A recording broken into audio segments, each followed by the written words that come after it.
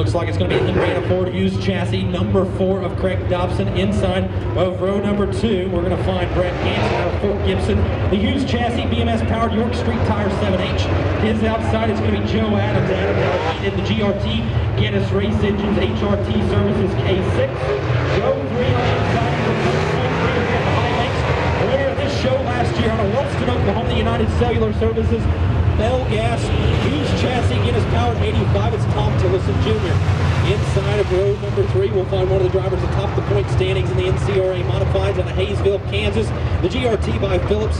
Shipman Racing Engines, Diva Dogs 65. It's Tyler Davis. To his outside, we're going to find Rick Hudson, the Hughes chassis, BMS powered number nine. And the 38F Jared Fraley somehow managed to miss the current points leader for the USMTS Modifieds, who's going to start to the outside of Tillison.